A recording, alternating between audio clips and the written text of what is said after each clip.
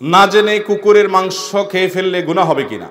না জেনে যদি কোনো হারাম গোস্ত আমরা খেয়ে ফেলি বা কোনো হারাম খাবার খেয়ে ফেলি, না জেনে খেয়ে ফেলেছি, তো আল্লাহ তালা মাফ করবেন।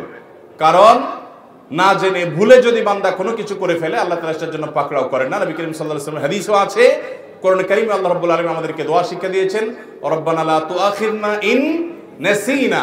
আল্লাহ আমরা যদি ভুলে যাই, তাহলে আপনি আমাদেরকে পাকড়াও করবেন না। অতএব ভুলে গিয়ে কেউ কিছু খেয়েছে অথবা না জেনে খেয়ে ফেলেছে নিজের অজান্তে, তাহলে তার গুনাহ হবে না, আল্লাহ তালা তাকে মাফ করবেন। কিন্তু ইমানদার তিনি খাবার যাচাই করে, চেক করে খাওয়ার চেষ্টা করবেন। সম্প্রতি এই যে কুকুরের গোষ্ঠ নিয়ে যে তুলকালাম হলো, কুকুর না খাসি, এটা কি সত্য না ভুয়া? এটা কি আপনার আসলে কুকুর ছিল নাকি খাসিরে কুকুর বানানো হয়েছে? অনেক কথা হচ্ছে। কিন্তু আমরা যেভাবে নাক ছিটকাচ্ছি আমার খুব ভালো লাগছে যে বাংলাদেশে মানুষ হারামকে এই পরিমাণ ঘৃণা করে। আলহামদুলিল্লাহ।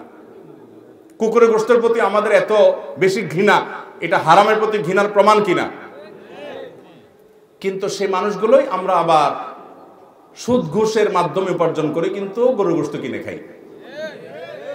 কি বলেন? কুকুরের গোস্ত খাওয়ার কারণে যেরকম ঘৃণা আপনার হচ্ছে মার্শাল্লাহ ইমানি গায়রত আপনার মধ্যে আসছে, সুদ ঘুষ, অন্যের সম্পদ আত্মসাৎ করা তিন চুরি, গম চুরি দুই নম্বর পথে উপার্জন করার ক্ষেত্রে এরকম ঘৃণা আসা উচিত। তাহলে আপনি ইমানদার হলেন। আর না হলে আপনি একটাকে হারাম মনে করলেন, আরেকটাকে হারাম মনে করলেন না, ব্যাপারটা সেরকম হয়ে যেতে পারে। আল্লাহ আমাদেরকে সব হারামের প্রতি ঘৃণা আমাদের সৃষ্টি হয়, সেরকম ইমান তৌফিক দান করুন। সেরকম তাকু আল্লাহ আমাদেরকে নসিব করুন। আজকাল অনেক বক্তা কীর্তিমতার সাথে কথা বলেন, দর্শক আকর্ষণের জন্য দৃষ্টিকটু অনেক কাজ করেন, অনেকে ঠোঁটে লিপস্টিক পর্যন্ত ব্যবহার করেন। তাদের এসব কাজ কি ইসলামে জায়েজ? ভাইরা, আমার খুব বিব্রতকর প্রশ্ন এটি। আল্লাহ মাফ করুন, লিপস্টিকের কথা আমিও শুনেছি এবং কিছু কিছু ভিডিওতে খেয়াল করেছি যে মনে হচ্ছে লিপস্টিক টাইপ ঠোঁটে পুরুষ মানুষ হয়ে লিপস্টিক যদি দেয়, এটা তো হিজড়া। এটা কিসের বক্তা, কিসের আলেম আবার? নবী করিম সাল্লা সাল্লাম বলেছেন লাহানুল্লাহুল মুতাশাব্বিহিন মিনার রিজাল বিন নিসা যে মহিলারা, যে পুরুষরা মহিলাদের বেশ ধারণ করে, আল্লাহ লানত তাদের উপরে পতিত হয়। এখন ঠোঁটে লিপস্টিক মারা লাগানো মানেই সে মহিলা হওয়ার চেষ্টা করছে, আমি তা বলছি না। কিন্তু ইচ্ছাকৃতভাবে এটাকে আপনার যেহেতু মহিলাদের প্রসাধনী তারাই সচরাচর ব্যবহার করে, সেটা যদি ব্যবহার করে, টেলিভিশন চ্যানেলগুলোতে অনেক সময় আপনার অনেকে লিপস্টিক দেয়। আমি টেলিভিশনের জীবনে বহুবার গেছি, আমি জীবনে কোনোদিন দেই নাই আলহামদুলিল্লাহ। হয়তো অনেকে ঠোঁট একটু বেশি কালো। তো আল্লাহ তালা যেভাবে বানাইছেন, সেভাবে থাকবে তাই বলে পুরুষ হয়ে মহিলাদের বেশ ধারণ করা, এটা কোনো ভালো চরিত্র হতে পারে না। আপনার যা আল্লাহ তালা দেন নাই, সেটা আপনি জাহির করার যে অপচেষ্টা করছেন। বিশেষ করে সেটা যখন মহিলাদের হয়, সেটা ধারণ করার চেষ্টা করছেন। যদিও এটা আপনার লিপস্টিক দিলেই সে মহিলাদের বেশ ধারণ করে ফেলছে, আমি হুবহু সেটা বলছি না। কিন্তু জিনিসটা তো মহিলাদের, এবং মহিলারাই এটা ব্যবহার করে। অতএব সেটা আপনি ব্যবহার করছেন, এটা তো আপনার সাথে যায় না। মানুষকে আকৃষ্ট করার জন্য বক্তব্য দেওয়া, ভাইরা আমার, এটা তো খুব ভয়াবহ একটা বিষয়। বিশেষ করে কথার মধ্যে কৃত্রিমতা সৃষ্টি করে কথা বলা কিয়ে বাকিয়ে, চাবিয়ে চাবিয়ে, চিবিয়ে, আপনার প্রয়োজন ছাড়া, আপনার তাকাল্লুপ করে, কষ্ট করে করে শব্দকে ভেঙে চড়ে আজকাল এক শ্রেণির যুবকরা এই সমস্ত কথা বলে। বাংলা বলে না ইংরেজি বলে বোঝার কোনো উপায় নেই।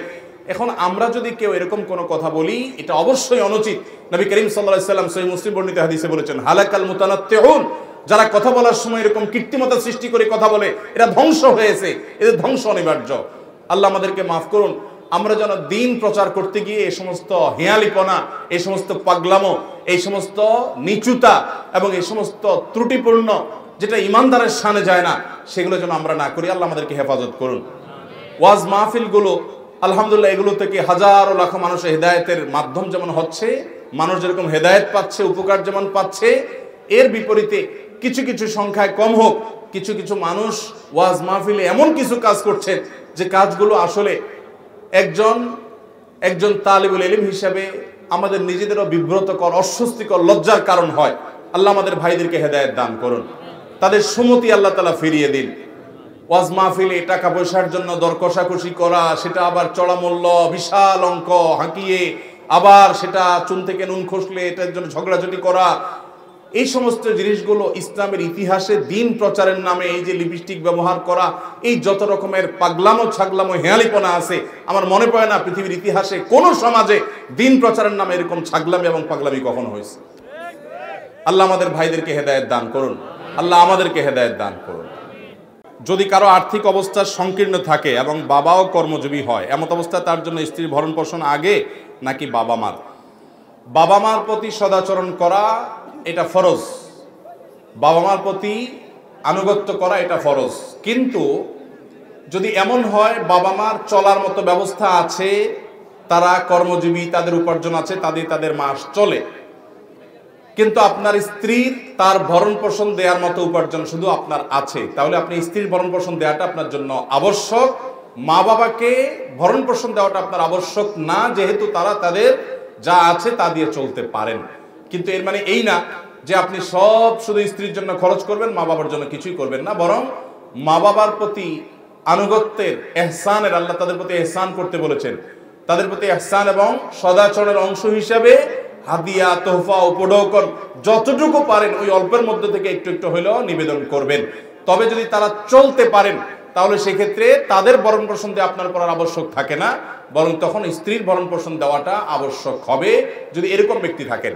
আর যদি স্ত্রীর ভরণ পোষণ দেওয়ার পরও আপনাকে আল্লাহ তালা আরও উদ্বৃত্ত রাখেন, তাহলে অবশ্যই আপনি মা বাবার জন্য সাধ্য অনুযায়ী তাদের ব্যয়ভার বহন করা, তাদের হাদিয়া দেওয়া, তাদের বিভিন্ন রকমের খরচ খরচা বহন করা, সেগুলো আপনার অবশ্যই দায়িত্বের মধ্যে পড়বে। যদি আপনার কাছে সেরকম অতিরিক্ত থাকে, অথবা বাবা মার যদি উপার্জন না থাকে, যা আছে তা দিয়ে তাদের চলে না, তাহলে স্ত্রীর ভরণ পোষণ যেমন দিতে হবে, বাবা মার ভরণ পোষণ আপনাকে দিতে হবে। যদি তাদের অন্য কোনো ব্যবস্থা না থাকে, তাহলে তাদের ভরণ পোষণের জন্য আপনি সাধ্য অনুযায়ী দিতে হবে।